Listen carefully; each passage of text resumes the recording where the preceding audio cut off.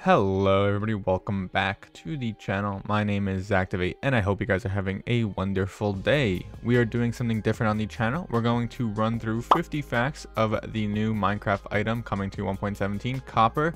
So I hope you guys enjoy this one. We're going to run through them really, really quickly. Uh, hopefully there are some facts that you don't know yet, but uh, I mean, there probably will be. But uh, yeah, just want to uh, tell you guys this before we get into it. We are in the latest snapshot. That's how we are uh, looking at all of these new items, such as copper and this one.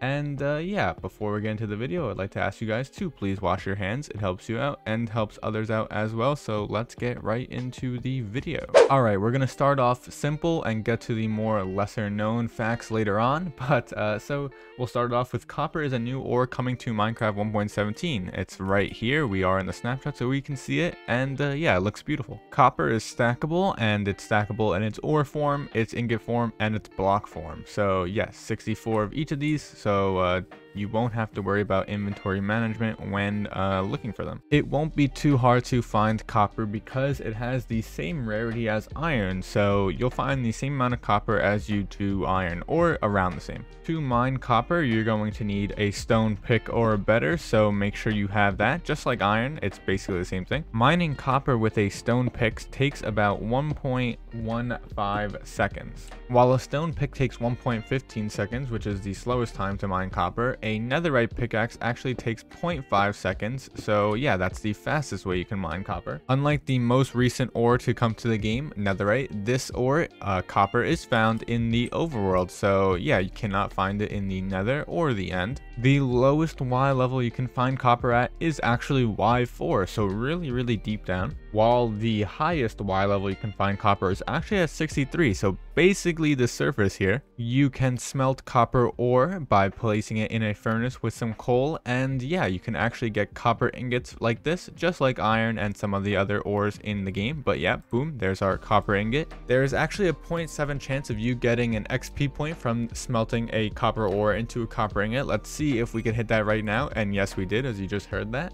Uh, hopefully you did. Copper ingots can be used to make a couple of things, including a copper block, a lightning rod, and a spyglass. To make a copper block, you actually only need 4 ingots, unlike the usual 9 that you need to make for any other mineral block. And uh, yeah, 4 ingots makes us 1 copper block. To make a lightning rod, you can uh, check my video out that I posted a couple weeks ago.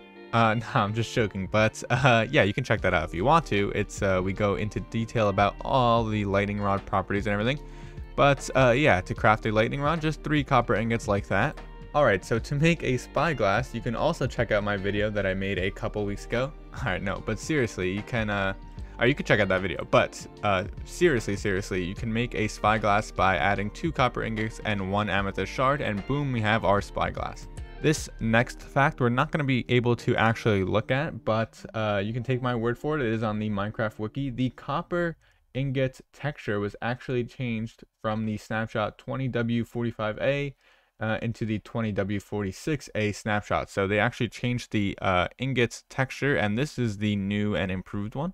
Alright, so those were some simple facts, but uh, in my opinion, we're getting into the cooler ones right now. So the first fact of this cool section right here.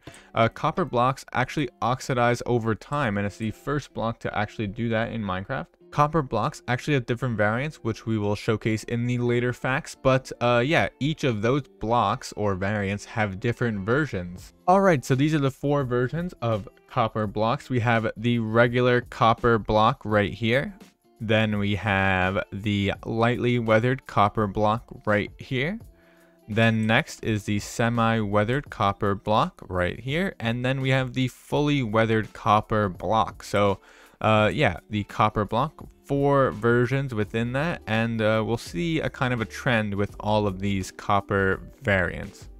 The second variant is waxed copper, and I'll get to what it actually is in a second, but uh, you can craft it by just placing a copper block and adding a honeycomb, and it will make waxed copper. So yeah, waxed copper is a little different from regular copper, and uh, yeah, the only difference is that it doesn't weather. So once you wax the copper block, it will permanently stay in the state that it's in. The first version is the regular waxed copper block right here. The next version is the waxed lightly weathered copper uh, right here. And the third is the waxed semi-weathered uh, copper right here. So you can actually not wax the last version right here, the fully weathered copper block, because that would defeat the purpose of waxing it because this is the last state of the copper. So yeah, you can add the honeycomb at any time to wax each of these versions, so you can permanently have some semi-weathered copper blocks or some lightly weathered copper blocks or regular copper. Another variant of copper is actually cut copper, and this is what it looks like. Cut copper can be made by just combining four copper blocks to make four cut copper blocks, similar to uh, stone bricks and stone. But copper can also be made at any time during the oxidation process. So right here we have four weathered cut copper. Uh, we'll just take that right into our inventory. So yeah, you can make it during any time of the oxidation process. Similarly to the regular copper blocks, the cut copper blocks have the same variance. We won't count these as facts because we did it already as those. So I feel like that would be kind of cheating, but uh, yeah, we'll just go over it really quickly. We have the regular cut copper, then lightly weathered cut copper, semi-weathered cut copper, and weathered cut copper.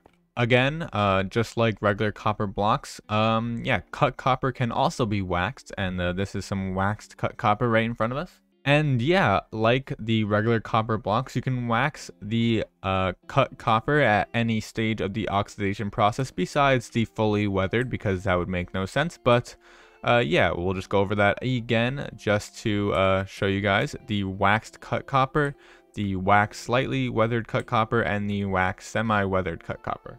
All of the cut copper variants that includes the waxed cut copper can be made into slabs and stairs, which is really, really convenient. So the weathering effects on the copper blocks actually take place after a certain amount of Minecraft days. So the initial stage is always going to be the unweathered copper blocks. So to get these variants, you are going to have to wait. Um, depending on which block you want, the longer you're going to have to wait. The earliest a copper block can change states is actually after 50 Minecraft days. So uh, yeah, if you're going to want this kind of variant of copper, you're going to have to wait at least 50 days uh, after placing this block down. And uh, yeah, same with these two blocks as well. They're all at least 50 days. So that was the earliest a block can, uh, I guess, transform into the next block or next stage. The latest a block can transform into the next stage is actually 82 days. So uh, yeah, it might not um, oxidize after 50, but uh, can take up to 82 days. So uh, yeah, the longest you have to wait for this block is, let's see, is 82 plus 82 plus 82. I don't really know what that is. Maybe I'll put it on screen if I could do math. Alright, so not only do you have to place this block down and wait for it to be weathered, you actually have to be, or the block actually has to be in a loaded chunk. So uh, yeah, that does affect whether the block will oxidize or not.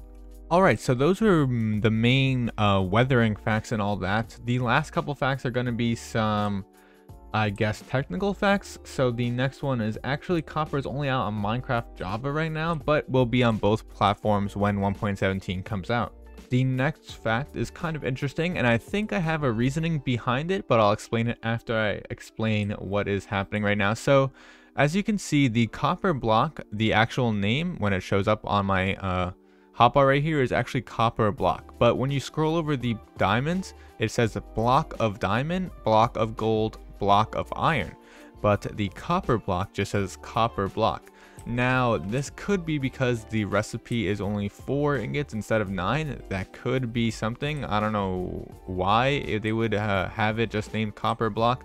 But I think it is interesting because it is the only mineral uh, ore block to uh, just have a different name than the rest. The next fact I can't really show off on screen. Hopefully I could put a, a picture up or something, but copper was already in Minecraft. Uh, not this uh, version. It was actually in the education edition, but not in the way of actual blocks like this. It was actually, I believe, in an element version on the periodic table. Hopefully I can get a picture of it from the wiki and put it on screen. But uh, yeah, it's already in the game. Lastly, as of right now, the fully weathered copper block actually has a typo in its name. So uh, as you can see, copper block, just look at the K at the end of all these blocks. Lowercase, lowercase, lowercase, and uppercase. So there's actually a misspelling, or not a misspelling, a typo with a uppercase K on the weathered copper block, which I thought was pretty cool. I mean, it'll probably get changed by the time uh, 1.17 comes around or not. Maybe they'll leave it in as like a little Easter egg or something. I don't really know. But uh, yeah, that was 50 facts about copper. Yeah, so 50 facts about copper. Let me know what you think. Was there anything that you did not know previously? Hopefully there was. Uh, let me know if you guys want to see more videos like this with uh, the newer items or even the old items uh, in Minecraft. So I definitely uh, I'm open to doing them, but uh, yeah, just let me know what you guys want to see. As always, please leave a like, comment, and subscribe if you're new to the channel. Really, really helps me out. And yeah, I'll see you guys in the next one. Peace.